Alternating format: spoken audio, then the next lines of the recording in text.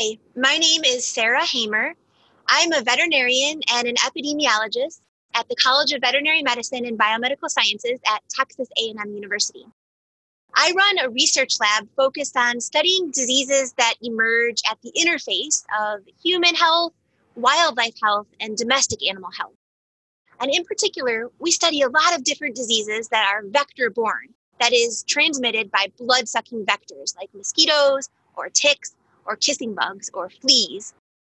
And we've been spending a lot of our resources lately studying this devastating situation of canine Chagas disease. We've been funded by the American Kennel Club Canine Health Foundation over the past couple of years to get some exciting new data from the field from naturally infected dogs to learn about how they're being impacted, how they're coming in contact with the kissing bug vectors. And today I'd like to share some of those details with you. One important point to emphasize is that Chagas disease is not new in the southern United States.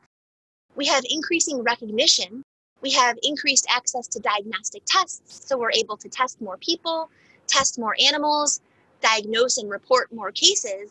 But the truth is that this parasite, the kissing bug vectors, infected wildlife reservoirs have all been around and interacting in the southern United States for many, many years.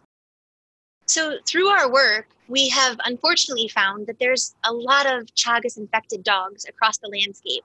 And this is not just a problem in Texas, where we've been doing most of our work, but really this can be a big problem anywhere that kissing bugs occur in the natural environment. And this is at least 27 states of the southern United States. And furthermore, this problem is not restricted to the southern US because dogs, just like humans, can travel and they can bring this infection with them.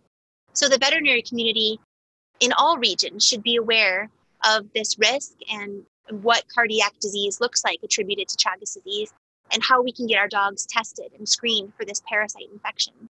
Chagas disease has been a really exciting system to work on because it really falls well under this One Health umbrella. One Health is being the initiative where we can recognize that a lot of the causes of problems to human health are shared, you know, shared issues with animal health. And dictated by the environments that we live in and that we share. And so that really makes sense to collaborate and take this holistic approach to study the pathogens that are infecting animals, the pathogens that are infecting people, because sometimes the solutions can help all of those areas.